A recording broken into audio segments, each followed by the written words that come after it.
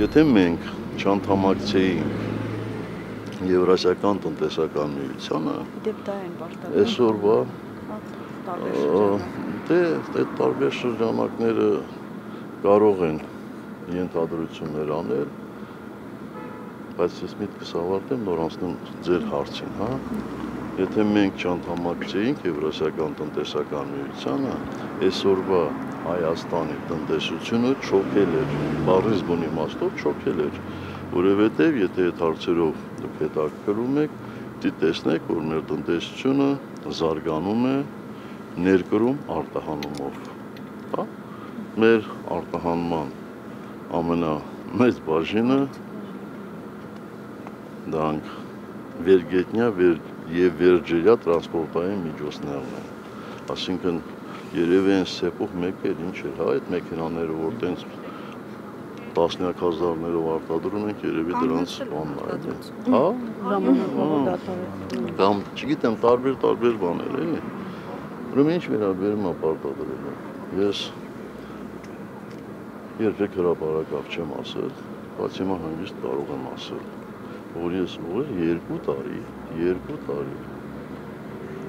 առաջարկում էի, խնդրում էի սկզբից Մաքսային միությանը, այնուհետև Եվրասիական տնտեսական միությանը եւ անդամակցող երկրներին խնդրում էի Հայաստանին ընդունել այդ կառույց։ Շատ բարձ պատճառով։ Բարձ պատճառով, որովհետև այդ կառույցին չանդամակցելը վերելու էր այն իրավիճակին, ինչ իրավիճակ ստեղծվեց օրինակ Մոլդովայում, Վրաստանում, ավելի վատ Ուկրաինայում եւ մնացած տեղերում։ Մեր տնտեսության այն ժամանակ մի հիմնական մասը կազմում էր գյուղատնտեսությունը։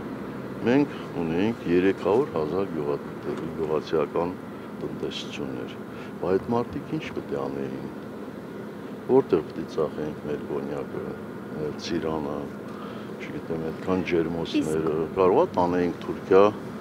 լոլիկ վաճառեինք, կամ Փարիզ կոնյակ, Իսկ այն, որ հիմա փորձում են ներողություն,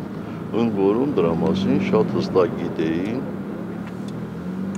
Եվրամիության մեր գործընկերները, շատ հստակ գիտեին։ Եվ դուք պատահական եք համարում արդյոք, եթե ինչպես ձեր ասած այդ շրջանակները